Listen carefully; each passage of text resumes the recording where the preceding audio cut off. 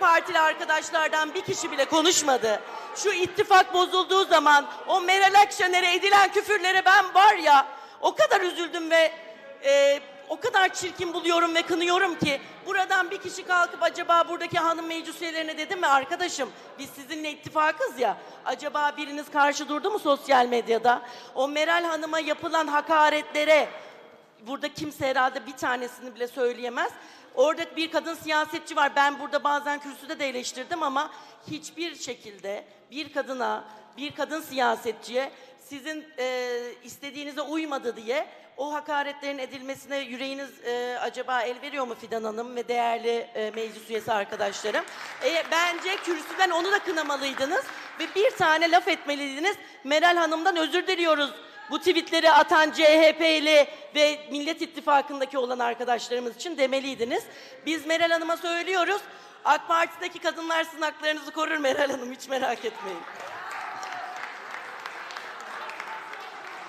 Evet, peki Şeyma Hanım teşekkür ediyorum. Eğer susarsanız devam edeceğim. Şimdi değerli arkadaşlar, değerli arkadaşlar, şimdi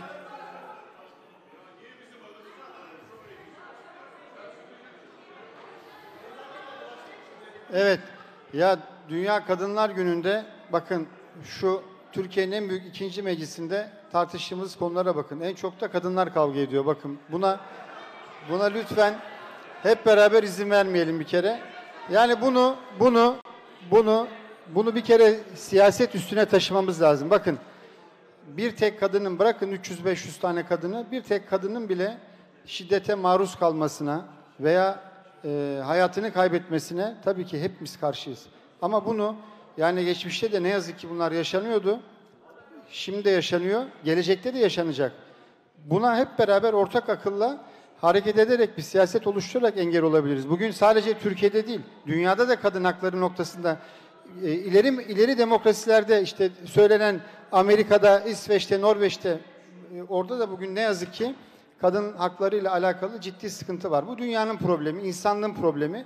Buna ortak akılla çözülmesi gereken bir problem. Bunu böyle günlük siyasetlere lütfen alet etmeyelim. Ben özellikle bunu rica ediyorum.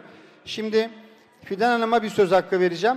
Bir de Meral Hanım'la alakalı olduğu için bir e, söz söylendi. Ben Suat Bey'e söz vereceğim. Buyurun. Önce Suat Bey'e bir söz vereceğim. Sonra Fidan Hanım'a. Lütfen yalnız bunu bunu siyaset üzeri konuşalım. Çok rica ediyorum. Buyurun Suat Bey. Şimdi Şeyma Hanım'ın bize yönelik olarak e, bir iyimserlik havası yaymasını buradaki geçmiş zamanlarda söyledikleriyle çatışıyor, çelişiyor. Esasında kendisinin e, Sayın Genel Başkanımızın e, o altılı masada yaşadıklarıyla ilgili bir şey söylemeye hakkı yok. Esasında keşke şunu söyleseydi. Sayın Cumhurbaşkanı, Sayın Genel Başkanımıza bu senin daha iyi günlerin, bunun hapishanesi de var, başka şeyleri de var dediği zaman bir erkeğin Cumhurbaşkanımızın böyle bir hapishanesi evet, de var evet, lafı yok bize bir de, kere. bize Suat de, Bey rica bize de buna benzer buna Rica benzer ediyorum. kelimeler etti. Biz bunları unutmadık. Lütfen. Evi Yani- basıldığı Sayın Genel Başkan'ın evi basıldığı zaman keşke Suat Bey. ona sahip çıksalardı. Burada subliminal mesaj vermeye hiç gerek yok.